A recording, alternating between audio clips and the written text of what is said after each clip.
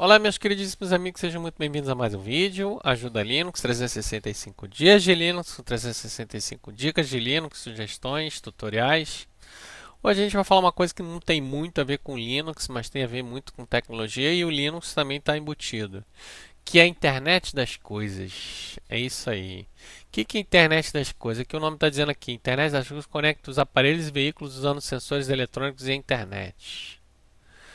É isso basicamente. Na verdade, a ideia é que você vai ter todos vários elementos que você tem na sua casa, no seu trabalho, em qualquer ambiente, é, vão passar a ser inteligentes, vão passar a ter sensores e vão se comunicar pela internet. Então, são coisas, né? Então a gente chama de internet das coisas, né? Não confundir com a coisa da internet.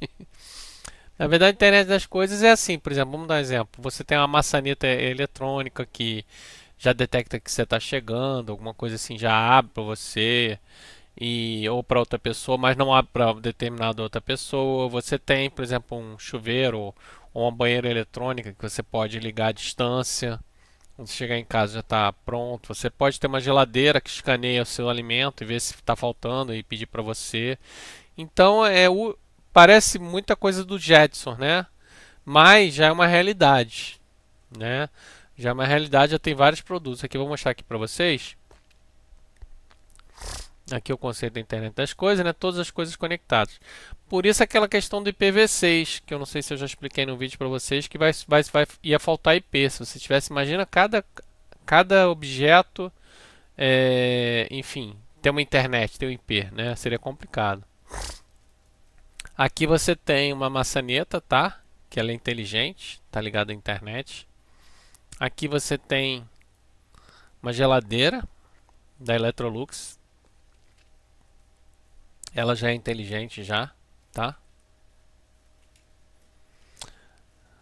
É, aqui tem algumas, é, enfim, algumas imagens que eu separei para vocês que, que, que, que, fazem esse conceito, né? De internet das coisas. Você tem, na verdade, você trabalha muito com sensores, né? Todos os objetos têm sensores que mandam informações pra, pela internet, né? É isso, tudo está interligado, tudo. Você, seu computador, seu tablet, seu celular, sua geladeira, seu carro, sua maçaneta, sua, sua banheira, sua televisão, tá tudo interligado. Todas as coisas vão estar interligadas, né? E vai ter muito tráfego de internet por causa disso, entendeu?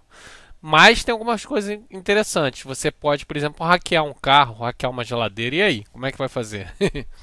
Imagina hackear uma geladeira e levar toda a comida. Ou desviar um carro.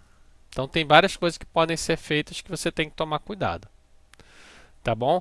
Nós temos um curso na Escola Linux do Internet das Coisas. Eu vou deixar o link aqui embaixo. Tá bom? Você já está usando a Internet das Coisas? Já se preparou para isso? Já está estudando? Como é que é isso? Deixe seu comentário aqui embaixo. Até amanhã, pessoal. Tchau, tchau.